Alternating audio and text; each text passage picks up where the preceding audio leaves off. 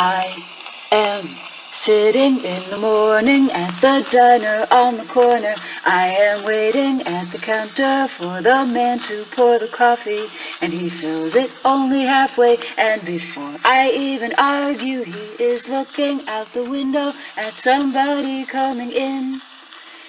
It is always nice to see you, says the man behind the counter to the woman who has come in. She is shaking her umbrella, and I look the other way as they are kissing their hellos, and I'm pretending not to see them, and instead I pour the milk.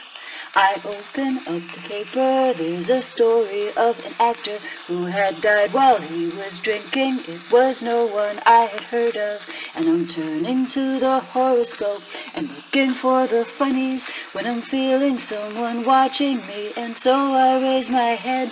There's a woman on the outside looking inside. Does she see me?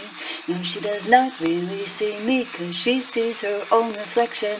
And I'm trying not to notice that she's hitching up her skirt, and while she's straightening her stockings, her hair has gotten wet. Oh, this rain, it will continue through the morning as I'm listening to the bells of the cathedral.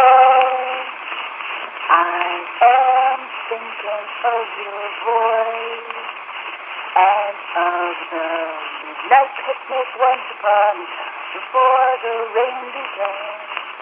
And I finished up my coffee, and it's time to catch the train.